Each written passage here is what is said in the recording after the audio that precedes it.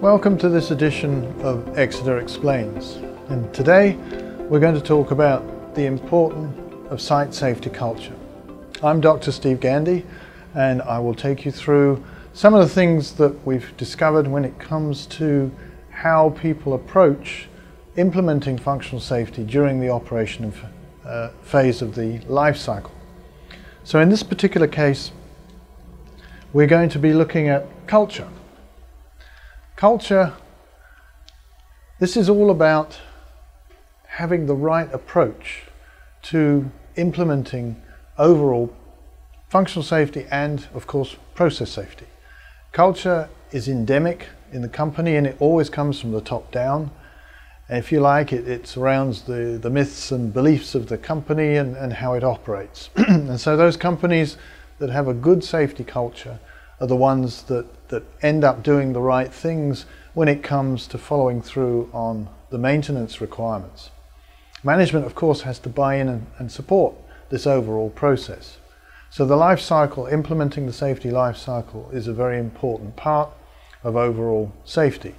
And having that culture which encourages people to be open, if they see problems, if they feel things are not being done the right way, they should be able to raise those without fear of retribution. So this is all about having that right approach when it comes to how things are done. And from the side point of view, it means doing things right and doing the right things. This should be the way that we approach it. So this means that we make sure our people are properly trained, that we do have written procedures that are being followed.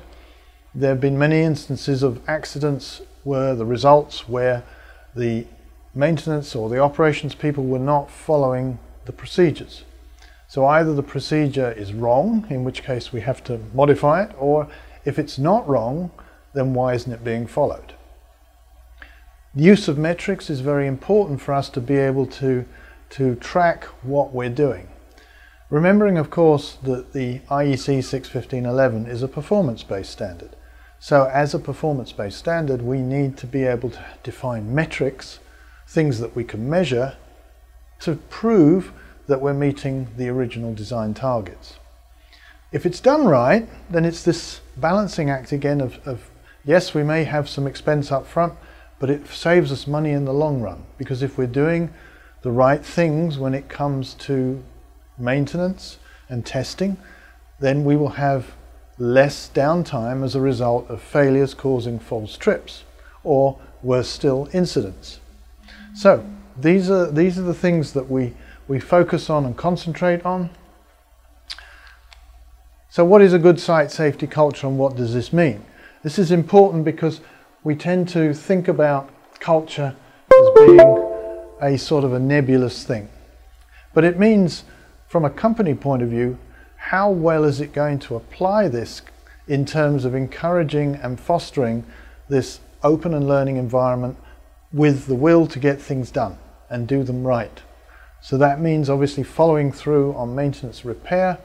It applies to all the equipment, especially for safety instrumented systems.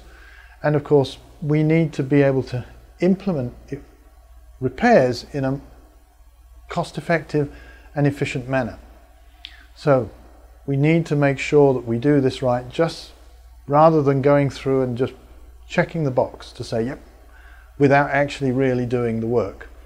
So ensuring that personnel are properly trained is obviously a very important part of this and we need to make sure that any procedures that we have in place are being followed.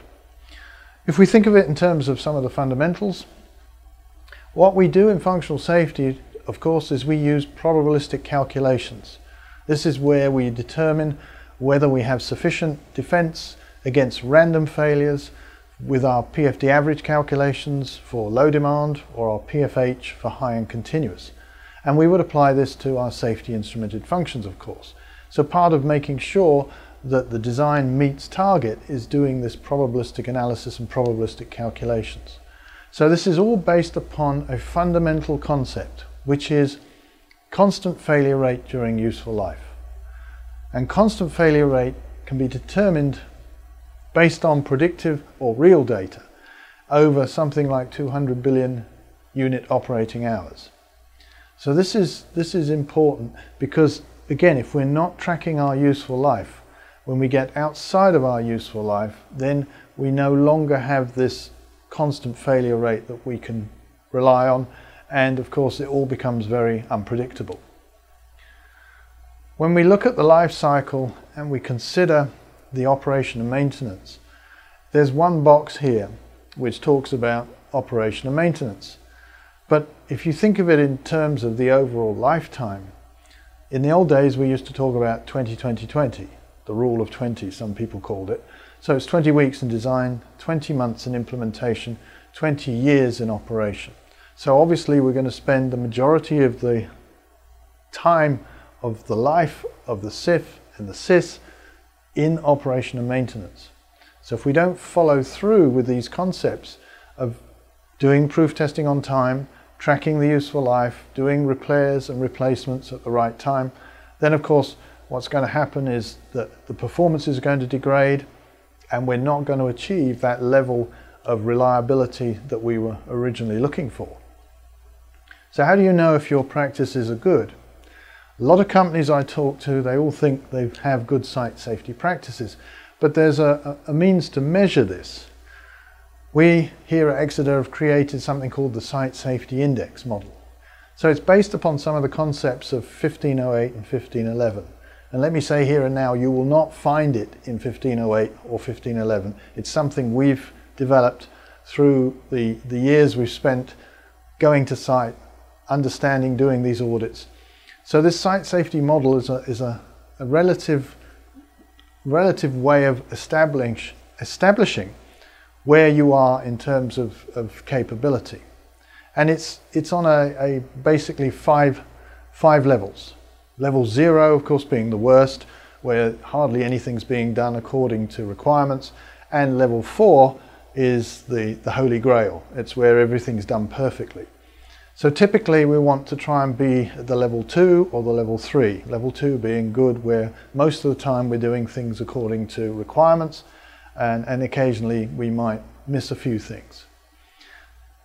The best way to do this is through a, an independent site audit or there is a website you can go to called the sitesafetyindex.com where you can fill in a questionnaire as an end user and if you answer it honestly it'll give you a relative weighting and say okay you're, you're effectively SSI 2, you're SSI 1 or wherever. So being able to measure this is key in understanding where the company is currently. And you can think of it in terms of a maturity to there, there's a journey you go through and obviously if you have the culture in place that fosters and encourages this then you'll very quickly be able to improve overall practices. So it's a simple qualitative model based upon the concepts of 1508 as I said and there are five levels 0 to 4. The questionnaire is one part you can start with but really that if you want to follow up more detail, it's better to have a site survey done by an experienced controls engineer and safety engineer who knows what to look for. But this will at least give an indication of, of where the company is within these bands. Why is it important? Well, the Chemical Safety Board has conducted numerous investigations into causes of accidents and again if you've ever seen their videos they're very good, very comprehensive but a lot of the times it comes down to having a poor site safety culture and practices. The attitudes are not there and when you look at some of these accidents you can see Texas City was because of poor site safety which was poor culture in general. It turned up again in, in Macondo. Then there's been other instances where poor culture has led to problems because with poor culture comes the tendency to be driven by finance. So therefore we need to save money, we need to cut corners and so on. Why do we have to do this uh, replacement of devices just because they've come to the end of their useful life, even if they haven't failed? So again, this is something that is often misunderstood or not understood by management or people that make these decisions. The important factors that impact this, of course, when we select the equipment and do the qualification. We should be selecting equipment suitable not just to meet the SIL requirements, but also to meet the application requirements and the environmental. So if we've got severe service type applications, we need to make sure that the valves are suitable for that particular application. How we do the testing during commissioning is very important to make sure that did, did they install the equipment properly, did they configure it properly? Was the validation test done correctly? Do we have written proof test procedures in place? Do we have documentation to prove that we've been doing the proof testing? And if we have any failures, do we do any diagnostic and repair according to procedures? Do we do any root cause analysis, for example? Are we tracking the useful life and making sure that we're replacing when we should? Do we have modification procedures? Do we have a management of change that we follow? And so on. So all of these things are important and will impact the overall SSI score. If we're not tracking things properly, we're not doing a good job.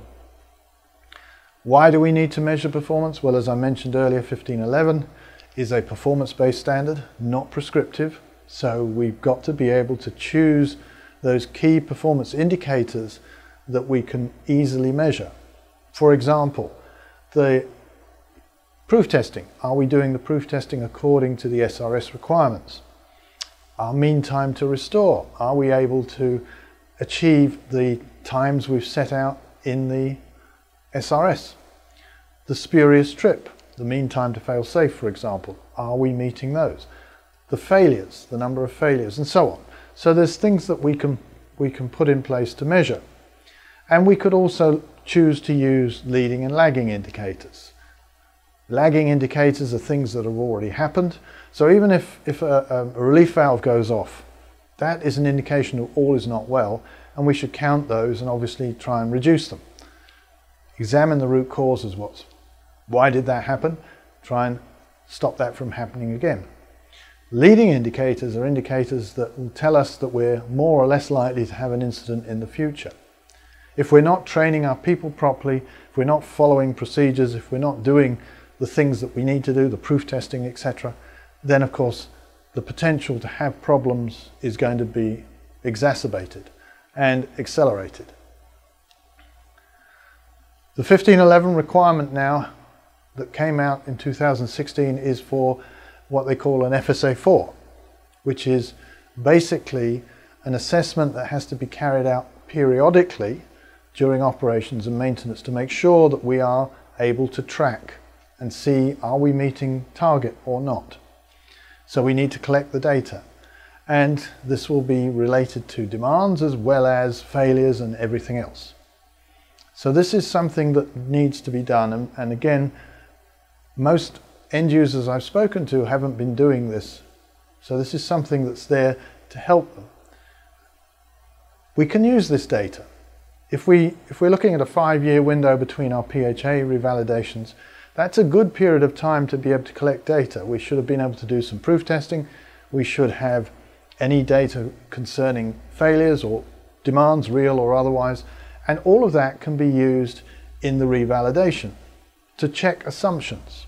Is our demand rate more or less than we originally thought?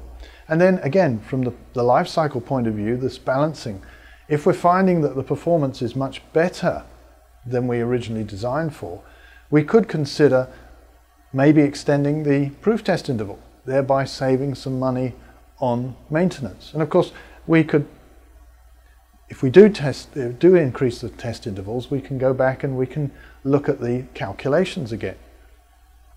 So this is why the, this, this information is useful to feed back in. Also, if we're finding that the hazards are different than what we originally thought, if there are new hazards or frequencies have changed, that can also be fed back in. So it's a useful way of closing that loop from what did we originally assume and design for and what are we getting. So if we compare our actual performance with the assumed performance, of course, if our risk reduction is adequate, we just continue on collecting data. If it's inadequate, then obviously we have to investigate so if our hazard risk is higher than we expected, our frequencies are higher, we've got to go back to the analysis phase. If our risk reduction is more than we, we need, then we can look at how we can um, modify the design to be able to adjust to that. So back to this balancing act again. so the point being that the data collected, the lessons learned during the operation and maintenance can always be used in the analysis when we come back to do re revalidation. So why would we not do it? Food for thought. So if we just sum this up then, the good thing to do is to develop an appropriate safety first culture where we have open and honest communication that any of the workers are able to highlight if they see anything that's out of the ordinary or not being done properly without being penalized, that we have competent people, we do training, we do regular assessments. All of this will build a better site safety index. Ensure that site safety is being monitored via the proper audits, of course. That's why the FSA 4 is very useful. Have proper operating and maintenance procedures in place. You can develop a safety checklist to ensure consistency. I'm a great proponent of checklists. I always use the commercial pilot analogy that even though the pilot may have flown thousands of hours, every time they get in the cockpit, they always go through their checklist to make sure they don't miss anything. Consider using leading and lagging indicators or some equivalent as long as we have solid KPIs that are easy for us to be able to measure and then to use those to demonstrate our performance is where it should be. Make sure proof testing is conducted in line with the SRS and of course making sure that we properly and accurately record all the maintenance, eh, maintenance activities faithfully and we're following mechanical integrity. If we use the tools, software tools to assist in recording and auditing, that's great. Just needs, needs to make sure that we're consistent in how we approach that. And also you can use tools to help with analyze failing, analyze failures, false trips and the actual SIS performance itself. As well as making sure that we undertake regular employee competence assessments. This is another requirement now in the 1511 standard where we again uses the word periodic so you have to do periodic competency assessments and that can be defined by the end user. If there is any incomplete maintenance or failures to follow the mechanical integrity, this will obviously impact the integrity of the safety instrumented functions and the safety instrumented system. Proof testing, as we know, helps maintain the SIF's integrity during useful life and, of course, over the mission time of the safety instrumented system. Manufacturers recommend proof tests to give us a certain coverage factor to be able to find those potentially dangerous failures that could cause us to have a failure on demand. And of course the relationship between the proof test interval, the mission time and the useful life is important and will also impact the integrity of the SIF if it's not understood and we're not following it. Mechanical integrity programs themselves should account for useful life and tracking and making sure that we either replace or refurbish before the end of useful life. So all of this would be done under the umbrella of a good site culture and therefore developing this necessary site safety culture is very important. I hope you found this useful and again if you have any further comments, thoughts or questions please let me know. Follow us on the usual social media and until the next time, thank you for listening.